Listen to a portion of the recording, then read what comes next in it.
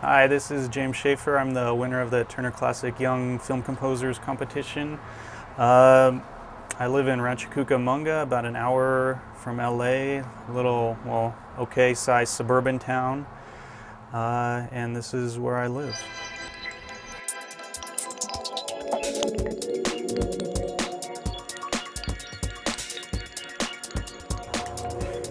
So this is where I live, just a normal house. Um, piano, pictures, DVD collection. This is my studio in here. They put up four one minute clips on their website of the film that they pick each year to score. And I've always known about it. I just never had the time to do it or never felt I was ready to do it. And this year I did. So I went on there, downloaded all the clips, watched them.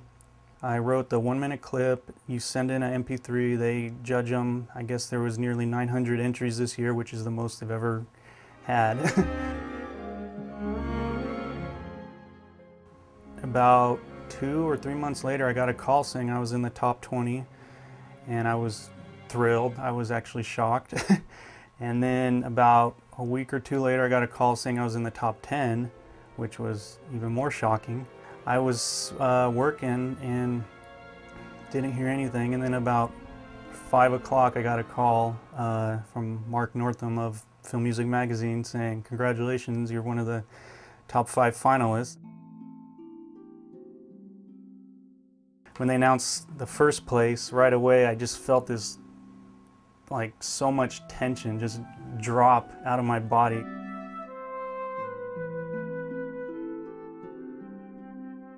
It was one of those times that you feel like, am I dreaming? Is this real? so. My main computer is a Mac Pro 8 core, 3 gigahertz. I have 8 gigs of RAM, then I have an Apple G5, dual G5. And the way I link them up is um, I have a KVM switch, which I can switch over to my G5. And then also on this monitor, I have KVM switches to switch between uh, four PCs. I'm using for sequencing Logic Pro 8 currently. All my uh, EXS instruments I've loaded on my strings and um, through Kontakt. And then all my woodwinds and brass and percussion I have loaded in Giga Studio.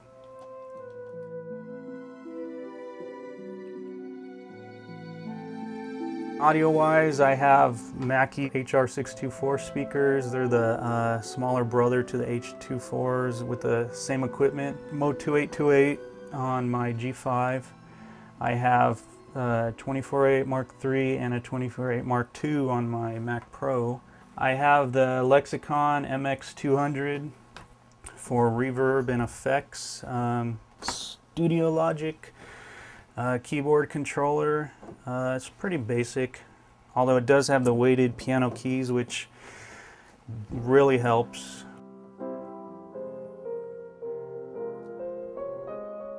Part of the opportunity for winning is to the grand prize winner gets to score the entire silent film that they base that year's competition off of. The film I have is two hours and seven minutes of nonstop music.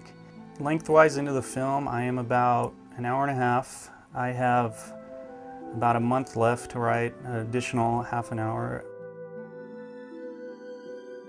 Uh, Time-wise, it's it's going okay. I think I'll I'll just barely make the deadlines.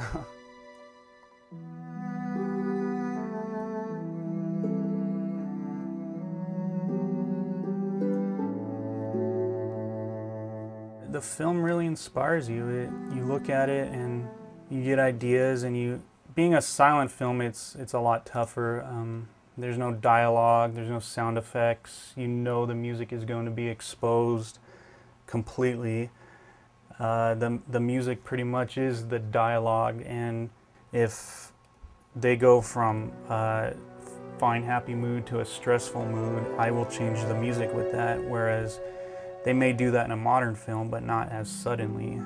The transition of going from my studio to a recording stage is, it's complicated but easy at the same time. I'll take my mock-up of what I do. I actually have a friend of mine working for me and I'll send him the MIDI file and the PDF and he takes it and opens it up on his computer and he extracts all the MIDI data and puts it into Finale for the, the parts. And then he takes this makes the scores.